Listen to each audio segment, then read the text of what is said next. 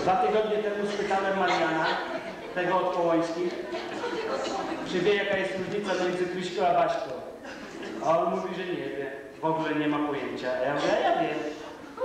Jedna jest dobra krawcowa, a druga co już ile to pruje.